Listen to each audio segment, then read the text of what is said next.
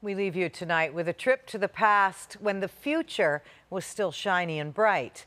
The dreamers of 1967 imagined a world full of monorails, habitats, and geodesic domes.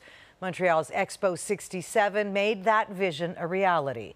Here's CTV's Quebec Bureau Chief Geneviève Beauchemin 50 years later. Time has erased much of what was once Expo 67.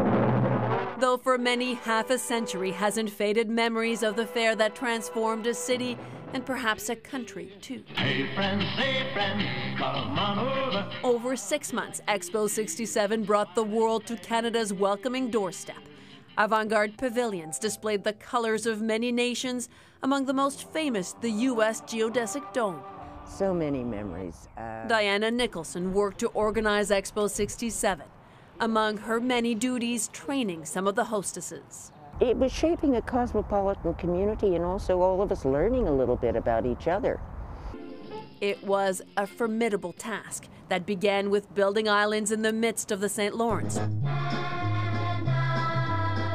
The theme was Man in His World. It was the 60s. And in the midst of the Cold War, nations found a warm place for a party. Many of the millions of visitors have held on to their Expo passport.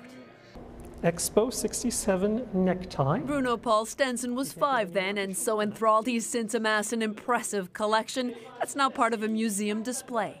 To mark the anniversary, film producers premiered Expo 67 Mission Impossible, a thriller of a documentary on those they call the mad men and women who made an oversized dream a reality.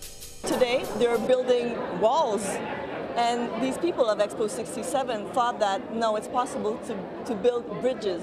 Among them, the so called mayor of Expo, Philippe de Gaspé Beaubien, was in charge of the fair. The only other thing that I've seen unite Canadians this much was a war. Today, he's 90 years old. The country needed that. The province needed that. The young people needed that. His hope now to inspire others to dream of more for humanity and the world. Geneviève Beauchemin, CTV News, Montreal.